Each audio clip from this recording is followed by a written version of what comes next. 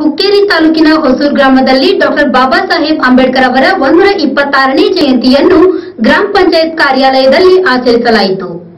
ಹೊಸೂರು ಗ್ರಾಮ ಪಂಚಾಯಿತಿ ಕಾರ್ಯಾಲಯದಲ್ಲಿ ಡಾಕ್ಟರ್ ಬಾಬಾ ಸಾಹೇಬ್ ಅಂಬೇಡ್ಕರ್ ಅವರ ಒಂದೂರ ಇಪ್ಪತ್ತಾರನೇ ಜಯಂತಿಯ ಉತ್ಸವವನ್ನು ಅದ್ದೂರಿಯಿಂದ ಆಚರಿಸಲಾಯಿತು.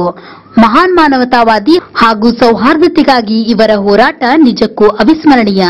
ಜಯಂತಿಯ ನಿಮಿತ್ತ ಭಾವಚಿತ್ರಕ್ಕೆ ಪೂಜೆ ಸಲ್ಲಿಸಿ ಮಹಾನ್ ಮಾನವತಾವಾದಿಗೆ ನಮನ ಸಲ್ಲಿಸಲಾಯಿತು.